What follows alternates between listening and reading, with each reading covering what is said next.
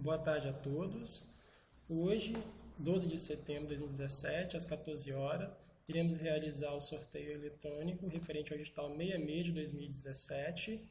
Meu nome é Alexandre Silva Rodrigues, ao meu lado está o servidor Glaucinei Pisol. Somos os responsáveis pelo setor de seleção.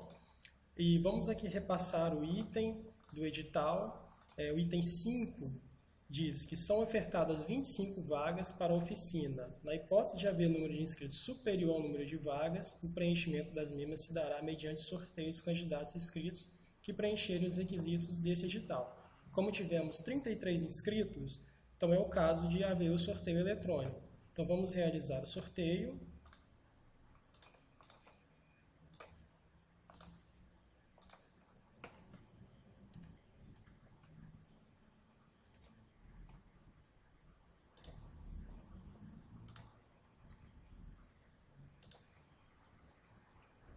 Foram geradas então as listas com os 25 primeiros selecionados e a respectiva lista de suplentes.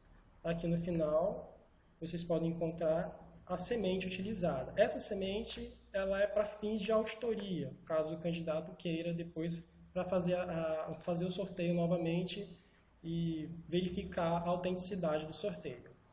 Então agora às 14h05 damos por encerrada a gravação.